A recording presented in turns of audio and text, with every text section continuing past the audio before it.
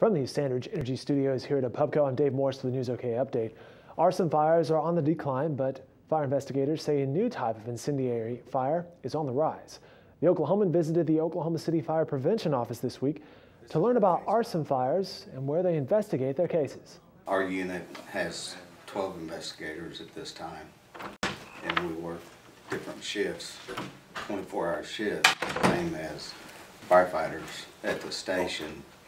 We're on, we're on duty 24 hours a day also. And we're called out at, when district chiefs are unable to determine the cause of a fire, then they'll call for an investigator.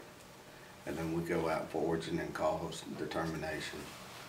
And it may or may not be criminal, it may be an accidental fire or a criminal fire.